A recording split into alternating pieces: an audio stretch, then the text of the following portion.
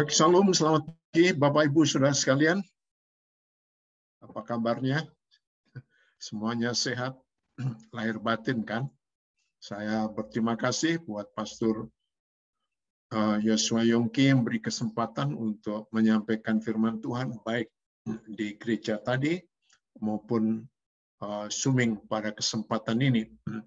Kita bersyukur karena kita masih diberikan kesempatan untuk belajar firman Tuhan, menghidupinya, supaya kita akan terus dikuatkan. Nah, sesungguhnya bacaan Alkitab kita dari kitab Matius pasal 25 ayat yang ke-14 sampai dengan ayat yang ke-30. Tetapi tema utama kita yaitu dari Matius 25 ayat yang ke-21.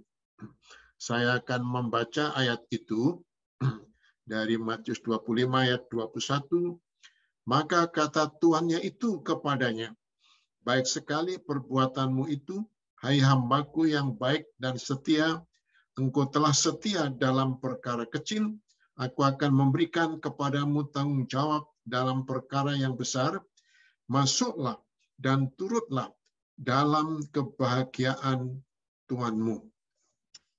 Baik, tema kita dapat diandalkan dan dapat dipercaya. Mari berdoa sekali lagi. Bapa Surgawi hati pikiran perasaan kami dipadukan dengan urapan rohmu yang kudus sehingga waktu sejenak tidak akan berlalu dengan sia-sia melainkan akan bertumbuh, tertanam, bertumbuh, berbuah berlipat ganda. Tuhan dipermuliakan dan banyak orang diberkati. Karenanya Tuhan berbicaralah, kami siap mendengarkan dalam nama Tuhan Yesus kami berdoa. Amin. Dapat diandalkan dan dapat dipercaya. Apakah Ibu Bapak Saudara sekalian dapat diandalkan dan dapat dipercaya? Puji Tuhan, kita mempercayai itu. Ya. Dari pendahuluan pada perumpamaan ini, ini merupakan perumpamaan, bukan alegori. Ya. Perumpamaan itu adalah tertuju kepada kerajaan Allah masa yang akan datang.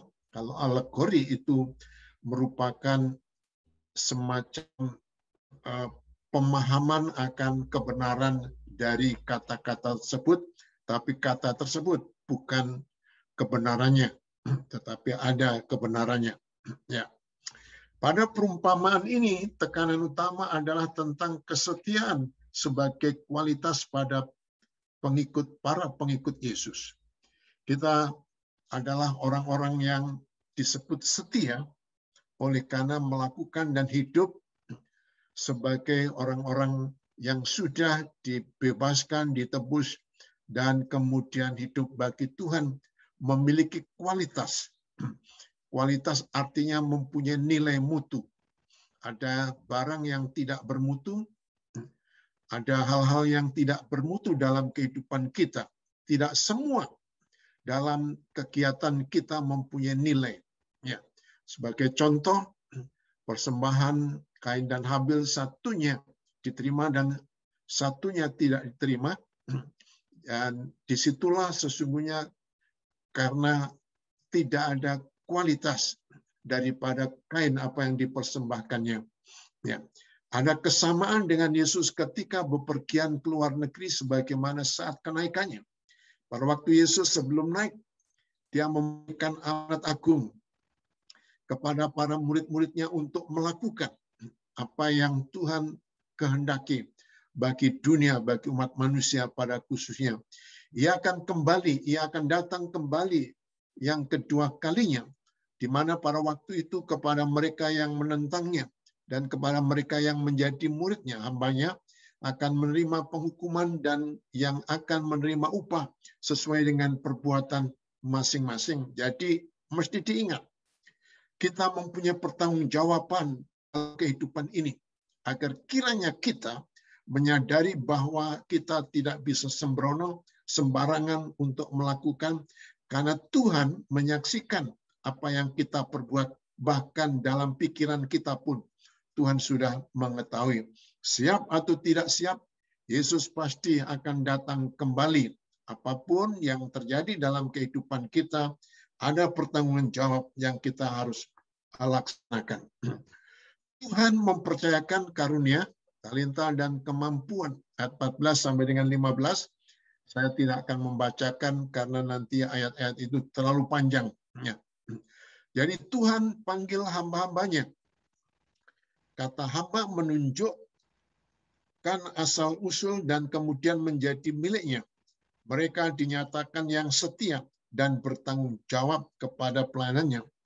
Kata hamba adalah mengacu kepada bentuk kehidupan yang dulu. Jadi orang yang belum menjadi hamba Tuhan, milik Tuhan, ia adalah hamba dosa. Dalam kebenaran kitab suci itu dikatakan sebagai pasar dosa. Ya. Jadi orang-orang yang tidak percaya kepada Tuhan Yesus sebagai juru selamatnya adalah berada dalam kehidupan keberdosaan karena apa? karena arah hidupnya tujuannya tidak tertuju kepada Allah. Ya, itu sebabnya disebut sebagai yang miss target, tidak menuju pada sasarannya.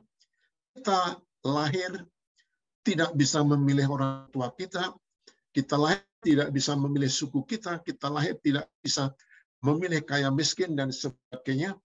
Bukan berarti Allah tidak adil, Allah tidak terletak kepada bentuk fisik, tetapi bagaimana hati nurani kita kepada Tuhan.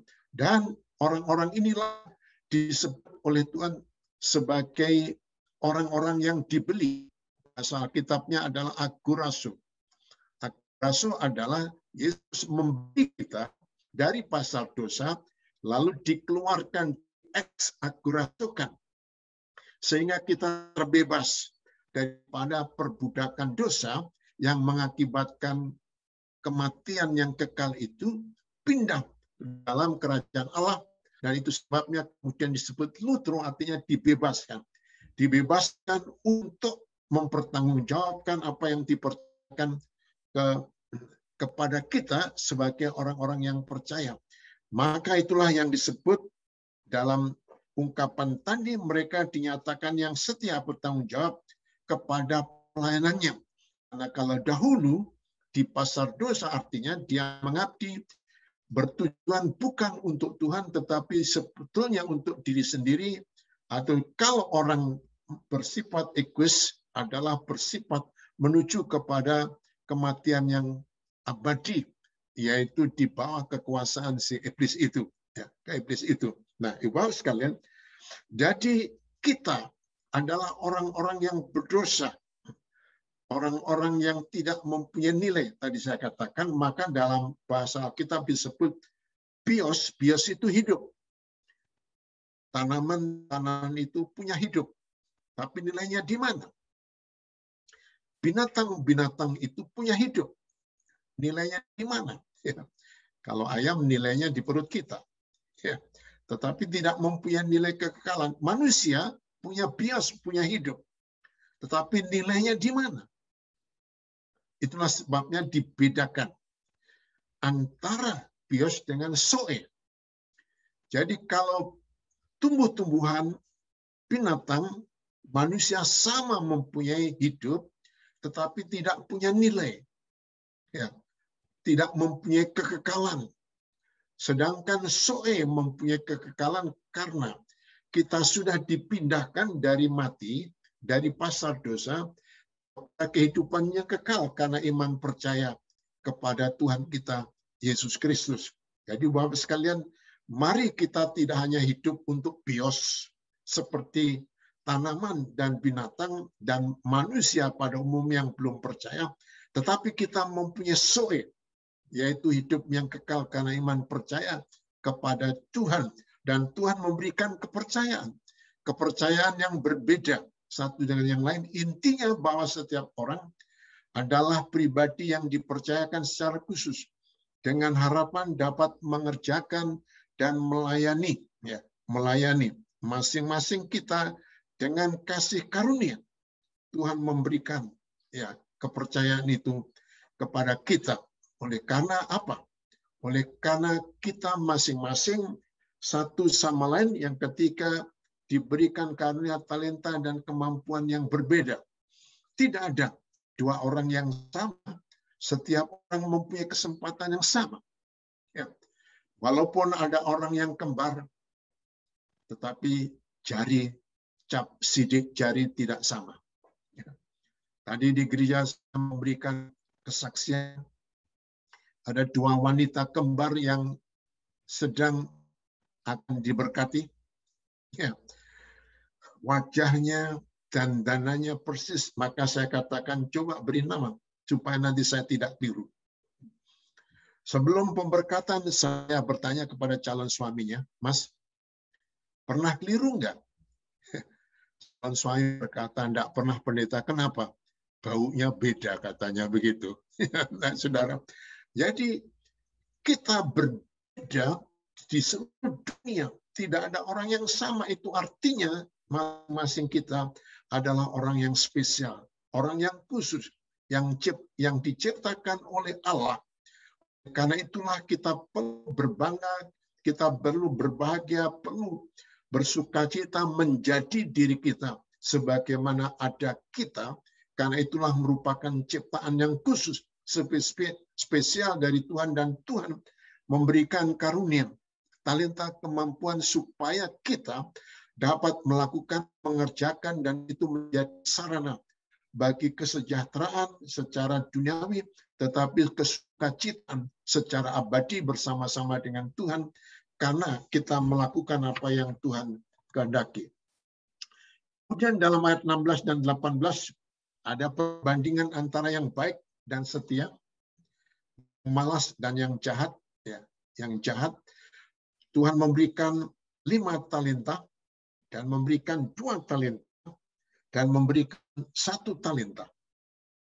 Dua hamba yang baik dan setia tidak menyia-nyiakan waktu dan kemudian segera menggunakan kepercayaan yang diberikan ya. Tidak sia-sia menggunakan.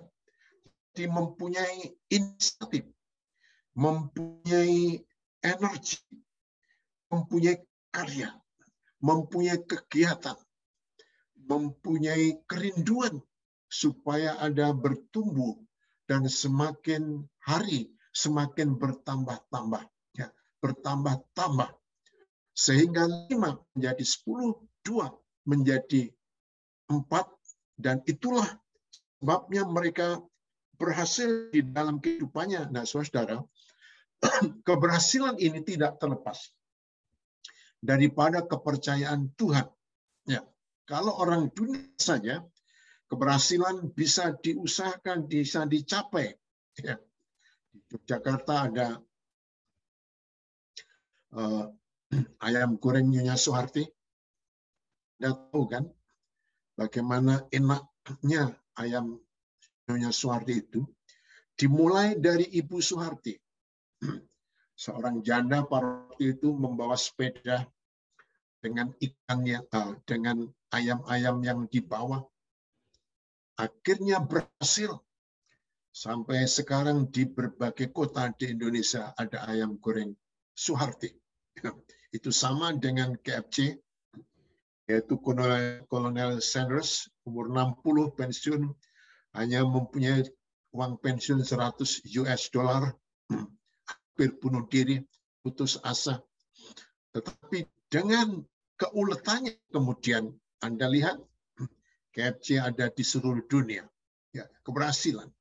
Secara dunia manusia dengan keuletannya bisa mendaya gunakan sehingga keberhasilan apalagi kalau karunia talenta yang Tuhan berikan itu kita daya gunakan secara baik secara baik. Bapak sekalian, apa pun talenta Anda, bukan menjadi persoalan, bukan besar kecilnya talenta menjadi penting, tapi bagaimana Tuhan melihat proses, yaitu kesetiaan kita untuk melaksanakan, untuk mendaya gunakan, untuk mengusahakan bagaimana talenta itu bisa berhasil ya, berhasil. Jadi dengan kata lain, keberhasilan kita tergantung pada Tuhan dan juga kegiatan kesetiaan dan usaha kita. Nah, pertanyaannya, apakah Bapak Ibu sudah sekalian bisa merasakan keberhasilan sebagai orang Kristen? Atau hanya berjalan berputar-putar? Ya. Atau berjalan di tempat? Tidak menuju ke mana-mana. Nowhere. Dan Anda itu sebabnya mengapa Kristen tetapi tidak menikmati. Apa artinya menjadi Kristen? Ya. Itulah sebabnya setiap kesempatan dalam kegiatan, dalam pelayanan, dalam pengabdian, dalam kehidupan kita, Ibu Bapak sekalian, penting sekali kita mengusahakan dengan sebaik-baiknya. Kalau Anda di rumah, rumah Anda menjadi tempat di mana Tuhan dipermuliakan. Kalau Anda berada di kantor, tempat pekerjaan, tempat itu Tuhan dipermuliakan ketika Anda di masyarakat. Orang-orang di lingkungan Anda menyaksikan bagaimana masyarakat menyaksikan saudara sebagai orang-orang yang percaya, ya, yang percaya. Sebaliknya, orang yang menerima satu talenta tidak melakukan kepercayaan Tuhan itu. Itu sebabnya Tuhan mengatakan engkau yang malas jahat. Ada kelebihannya orang malas. Apa itu? Ahli dalam memberikan alasan-alasan. Ya, selalu kenapa? Ya ada alasan. Jahat dalam pengertian karena itu tidak mempercayakan diri kepada Tuhan, ya, kepada Tuhan. Orang ini tidak mencuri, tetapi orang ini menguburkan talenta. Dia berpusat pada dirinya sendiri, melayani diri sendiri, kepentingan pribadi, urusan pribadi. Ya. Tidak pernah care kepada bagaimana Tuhan seharusnya dipermuliakan iman saya, iman kami, iman kita bertumbuh dan banyak orang diberkati melalui melalui doa kita, melalui pelayanan kita, melalui pengabdian kita, melalui kegiatan kita, melalui kehidupan kita. Dia tetap aktif memang, tetapi tidak melakukan apa yang dipercayakan oleh Tuhan. Dia aktif untuk dirinya sendiri. Dan dia merasa bahwa dia adalah orang yang sangat tidak beruntung. Itu sebabnya, Bapak dan sekalian, maka dia sesungguhnya orang yang tidak bisa dipercaya. Ada ungkapan seperti ini, he simply did nothing. Doing nothing is doing wrong. Dia tidak melakukan apa-apa. Tidak melakukan apa-apa artinya dia melakukan kesalahan. Kenapa? Hidup kita bukan milik kita. Keberadaan kita, kelanjutan kita dan dunia bukan merupakan arah dan tujuan kita pribadi. Ada kehendak dan rencana daripada Tuhan. Itulah sebabnya Ibu sekalian penting sekali buat kita untuk hidup sebagainya panggilan daripada Tuhan. Dari Tuhan. Kenapa? ada upah. Drama tak ada pahala. Aku akan datang segera. Kristus datang kembali. Lama sesudah itu, tetapi Yesus berkata, aku datang sekarang. Segera. Bagi manusia itu lama, tetapi bagi Kristus tidak demikian. Kristus datang kepada umatnya, bukan kepada dunia. Ya. Ada pengadilan bema. Pada waktu rapture, gereja diangkat Orang yang mati, anggota gereja dibangkitkan. Di sana akan menghadap, eh, akan menghadapi tahta pengadilan Kristus. Bukan masuk surga atau masuk neraka, tapi mempertanggungjawabkan kehidupan kita, mempertanggungjawabkan apa yang Tuhan telah berikan kepada kita karena talenta, kemampuan dan sebagainya. Nah, adakah Ibu sekalian sudah melakukan dengan sebaik-baiknya apakah Bapak Ibu bisa dipercaya, bisa diandalkan, dan akan menghadapi sesuatu. Memang semua orang yang percaya masuk surga. Tetapi ada perbedaan. Coba membayangkan. Pada waktu Yesus disalibkan, sebelah kiri kanan Yesus ada penjahat. Yang satunya menghujat, yang satunya berkata, Tuhan, ingatlah padaku ketika engkau berada di kerajaanmu. Yesus berkata, hari ini saat ini kamu bersama dalam kerajaanku. Waduh enak benar ya. Selama hidupnya dia jahat, di akhir hidupnya dia percaya masuk surga. Tetapi dia hanya surga mungkin di pojokan sana. Tidak ada kebanggaan, tidak ada mahkota, tidak ada pahala yang dibawa oleh karena kegiatan kehidupannya, kehidupannya. Oleh karena itulah Bapak sekalian, Tuhan membawa upahnya mereka yang menerima lima dan dua talenta menyadari bahwa apa yang dipercayakan kepadanya, mereka adalah suatu kasih karunia. Mereka mengapresiasi pengucapan syukur kesempatan. Maka ada rasa untuk bertanggung jawab. Apakah Anda orang yang bertanggung jawab? Ada macam orang Kristen. Kristen yang sungguh-sungguh percaya, ya, dan Kristen just by name. Just by name. Di Indonesia hanya KTP, di Amerika KTP tidak ada agama. Ya, just by name. Hmm. Artinya apa? Itu hanya profesi. Tidak menunjukkan, tidak membuktikan kehidupannya sebagai orang-orang yang beriman. Oleh karena itulah, Ibu sekalian, maka apakah Anda hidup mengapresiasi mengucap syukur atas kesempatan yang Tuhan berikan. Ya, berikan. Karena inilah sesungguhnya saat kita untuk mengumpulkan mahkota upah yang diberikan, diberikan upahnya, mendapatkan kesempatan yang lebih besar, dan turut dalam kebahagiaan Tuhannya, saudara, itu yang dikatakan. Tuhan, kata karena engkau percaya Aku setia dalam perkara kecil, maka aku akan memberikan kepadamu kepercayaan lebih besar. Dan masuklah ke dalam kebahagiaan Tuanku. Ini merupakan sesuatu kemampuan yang sesungguhnya datang kepada Tuhan. Ya, secara alami, ya, saya sesungguhnya orang yang sulit bicara, ya, sangat pendiam. Dan bahkan mungkin dari segi intelek saya sangat kurang. Ya. Saya bersyukur anak-anak kami diberikan otak yang cukup encer, brilian. Pada waktu sekolah SD, SMP, SMA, mereka mempunyai nilai yang sangat baik. Pada suatu hari, saya lihat rapot mereka ada yang turun. Saya sudah mulai mengecek. Waduh, anak-anak mulai bodoh. Semester berikutnya rapotnya rupanya belum berubah. Saya mengejek dan mereka ketawa. Lalu saya tanya pada mamanya, kenapa? Nih, mereka ketawa. Mereka bilang, rapotmu lebih jelek dibanding rapot mereka. Saya bilang, itu belum menjadi orang percaya dulu. Ya, belum menjadi orang percaya. Tetapi ketika menjadi orang percaya, Tuhan mengubahkan.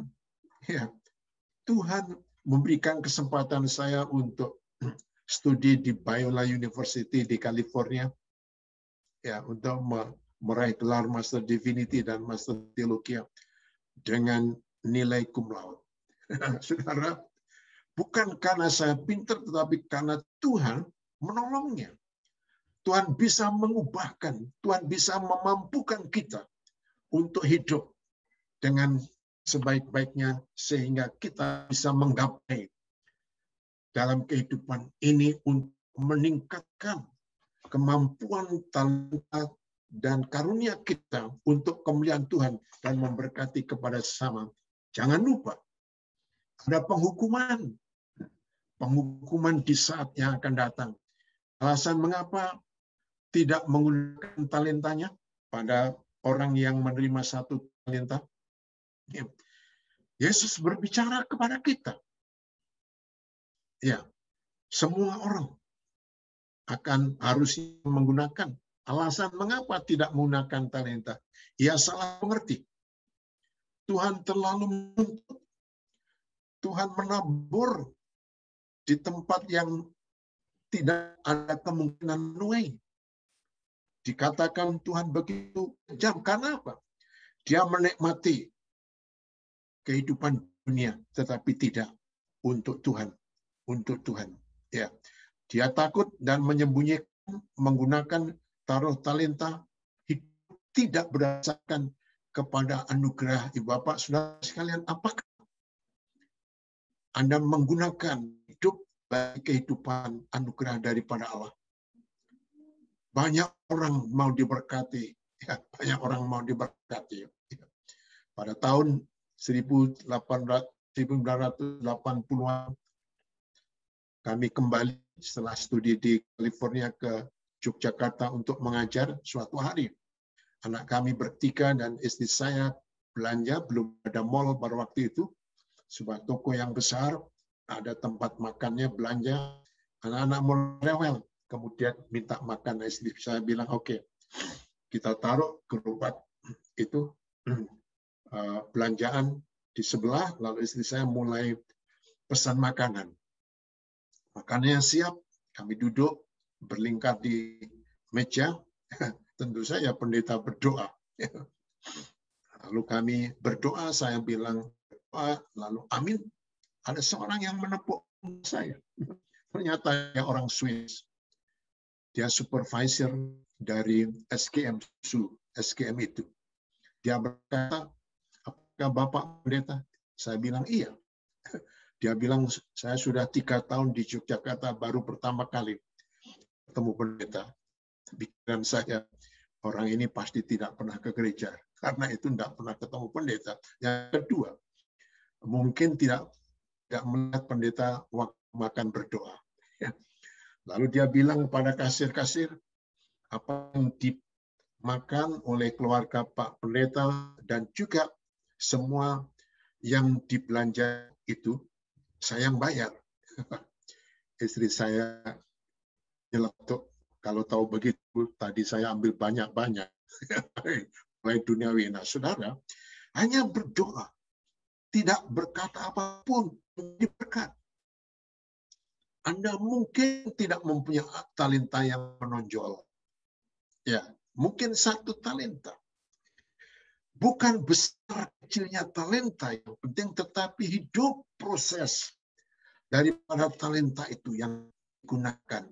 Kalau Anda tidak, jangankan Tuhan dipermuliakan menjadi berkat kepada sesama pun tidak. Ya, tidak. Itulah sebabnya mengapa Tuhan menghukumnya. Sebab dia jahat dan pemalas. Arti kata jahat di sini, karena apa? Karena apa yang dipercayakan Tuhan tidak menjadi Allah sebagai tujuan. Sebagai tujuan. Nah, Bapak sekalian, ketika manusia diciptakan, manusia diciptakan menurut gambar dan peta teladan Allah. Tetapi ketika dosa terjadi, maka rusaklah. Dan karena itulah Yesus harus datang ke dalam dunia menjadi manusia dan Allah sejati. Mengapa? Untuk menunjukkan kepada manusia, inilah seharusnya manusia yang diciptakan Allah. Maka kemudian di Antioquia, orang yang percaya Yesus disebut Kristen. Kenapa? Bukan karena dia mengaku percaya saja, mungkin memakai kalung salib, bukan. Karena hidupnya, tindakannya, perbuatannya, tutur katanya kayak Kristus. Seseorang tidak berhak menamakan diri Kristen ketika hidupnya tidak sepadannya dengan Kristus. Itulah yang disebut jahat.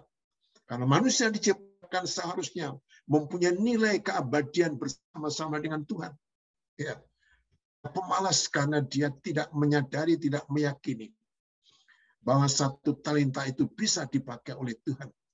Dan hidupnya memang tidak konsisten, double-minded. Dia berjalan dua kaki di atas dua perahu. Ketika satu perahu mendampinginya, dia akan jatuh. Saudara-saudara, inilah yang seharusnya kita lakukan. Tuhan menghukumnya orang ini gagal menggunakan talentanya. Berapapun talenta Anda Ibu sekalian penting sekali untuk dilaksanakan. Hukuman melepaskan tanggung jawab dan campak ke dalam kegelapan yang paling gelap. Ya. Nah, kita tidak bisa melepaskan tanggung jawab dan berkata, oh itu tanggung jawabnya pendeta, pastor, itu tanggung jawabnya majelis, itu tanggung jawab si A, si B, dan sebagainya. Kita secara pribadi tidak bisa melemparkan tanggung jawab kita. Apa hidup kita masing-masing secara pribadi akan berhadapan dengan Tuhan. Itulah sebabnya, Bapak sekalian, penting sekali buat kita untuk hidup dalam panggilannya sesuai dengan apa yang kita miliki. Ya, kita miliki. Akhirnya, bagi kita yang sudah setia pada perkara kecil, kemudian kita diberi tanggung jawab pada perkara besar.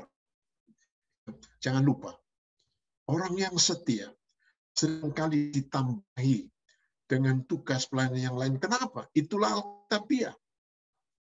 Yang tidak setia diambil, kemudian ditambahkan, diberikan kepada orang yang setia.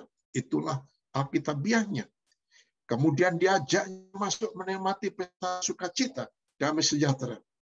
Nah, dia sudah menyediakan bagi kita bagian hidup kekal yang penuh sukacita dan damai sejahtera di surga. Nah, ibu bapak sekalian, inilah sesungguhnya merupakan target kehidupan kita. Hidup adalah suatu perjalanan dan bukannya suatu tujuan. Ya, jangan lupa itu. Problema kesulitan COVID-19 Bahkan kekurangan bukan suatu hal yang menjadi alasan untuk tidak terus berjalan setia, mengabdi, karena belum sampai kepada tujuan akhir garis finish. Bayangkan kalau saudara mengikuti lomba lari. Anda tersenggol oleh temanmu, lalu Anda goyah, Anda tidak bisa ngomel-ngomel, lalu menghujat orang itu. Atau penonton sedang berguru mengajak saudara-saudara pun tidak peduli seharusnya. Karena apa? Ada tujuan akhir, garis finish yang harus dicapai. Ya, harus dicapai. Kita harus memberi pertanggung jawab. Ada upah, ada mahkota dalam kekalahan yang penuh sukacita dan damai sejahtera. Ibu sekalian, itulah sebabnya Tuhan berkata, well done, good and faithful uh, servant. Praise God, haleluya, amin. Itulah sebabnya Kembali, apakah Anda dapat diandalkan? Apakah Anda dapat dipercayai?